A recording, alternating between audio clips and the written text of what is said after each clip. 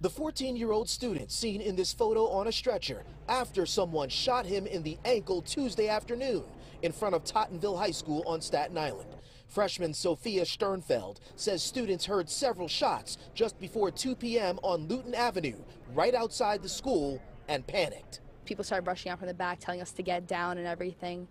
And I, we were just like, what's going on? Police confirm a group of five male suspects who are still on the loose opened fire in the victim's direction.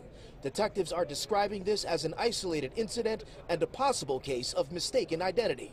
Classmates describe the 14 year old victim as a quote, good kid and a JV member of the football team. The two shooters thought he looked like the person that they wanted, and it really wasn't. The person he was with got enough time to get under the car to hide, and tripped and didn't. That's why he got shot. Staten Island Borough President Vito Fossella later suggested the shooting may have been the result of a dispute that started somewhere else on Staten Island. Fossella also pointed to what he believes is a larger societal issue. That when you have a situation where anybody can do whatever they want and there's no consequences, things like this happen.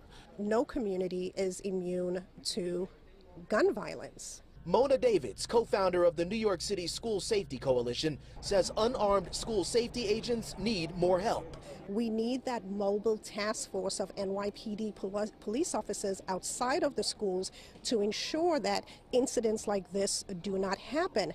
For freshman Sophia Sternfeld, the city's latest shooting, this time right outside her school, was an unwelcomed wake-up call. I always see it on the news. I'm like, I always everyone thinks like it's never gonna happen to us, and like today, like a regular day, it happened.